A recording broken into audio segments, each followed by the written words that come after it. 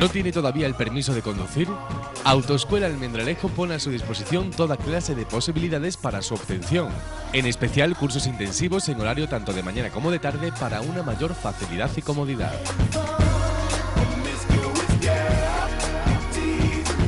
Estamos en Avenida de la Paz y en calle Julián García Hernández. Autoescuela Almendralejo, muchos años a su servicio.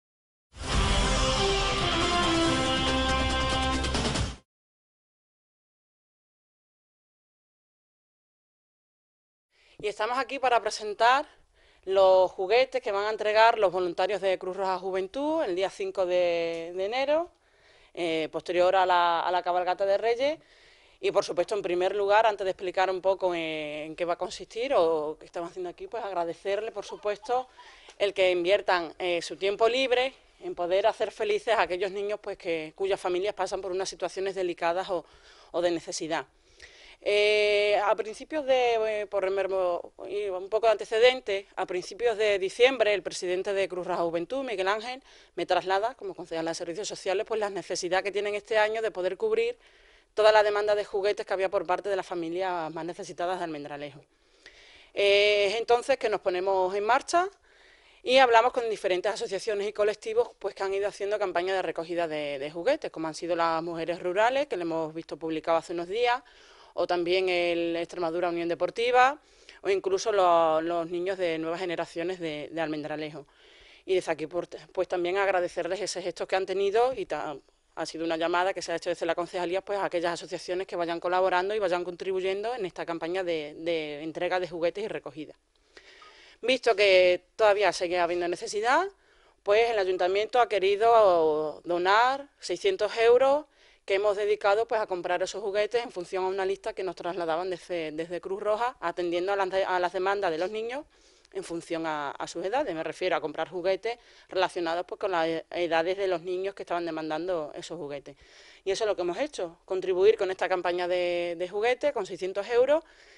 eh, a través de las tiendas Todo 10, que desde aquí también agradecer el gesto que han tenido porque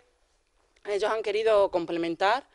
esa compra que hacía el ayuntamiento y han aportado 100 juguetes más.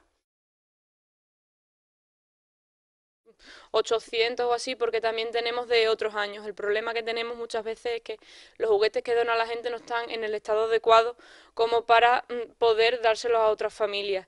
Eh, si bien es verdad que, como ha dicho la concejala, eh, hemos tenido mucho apoyo por parte de otras eh, asociaciones, como le hemos hecho también campañas en, en la calle y nos hemos visto un poquito salvados por, en ese ámbito. Pero la verdad es que la cantidad estamos día a día luchando con ellos, llevamos más de tres meses y medio con la campaña de juguetes, no paramos. Cuando termina esto sigue teniendo que organizar esto porque se queda un poco descolocado y la verdad es que lleva mucho trabajo y muchas veces nos perdemos entre tanto, entre tanto barullo y entre tantas entre tantas cosas que tenemos que hacer. Eh, los que más demandamos pueden ser eh, los juguetes de los niños que son bebés de a lo mejor 8 meses y luego ya eh, personas de entre 7 y 10 años, porque más avanzados a veces que tienen familias que tienen niños de 12 años o 14 años incluso, que ahí nos vemos pillados porque ¿qué le regalas a un niño con 14 años?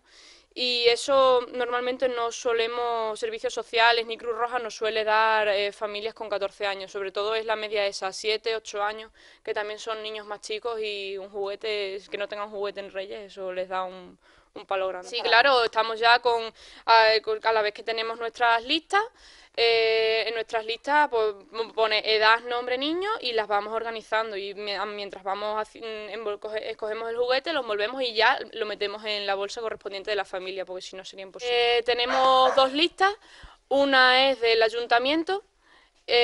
conjunto con servicios sociales y otra es de los propios personas que están dentro de Cruz Roja que también eh, participan en, en, alimentos que también pues claro las necesidades si una persona necesita alimentos también suelen si suelen tener niños chicos también nos encargamos nosotros de darles juguetes. Porque como quien dice son parte de la familia y también nos encargamos de ellos